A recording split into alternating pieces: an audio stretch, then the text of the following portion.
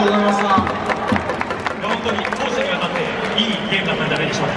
あの普段パ・リーグの選手のね、えー、すごさ感じてるんで、まあ、その選手たちの力があるので、まあ、いいゲームだと思います。パ・リーグにとっても今日は負けられないゲームになるんじゃないですか。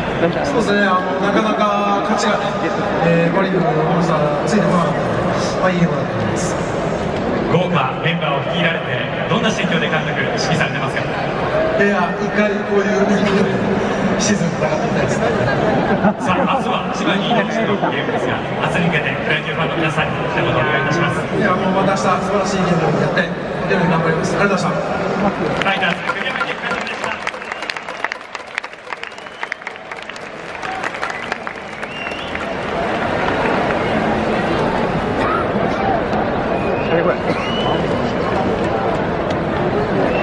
山越え。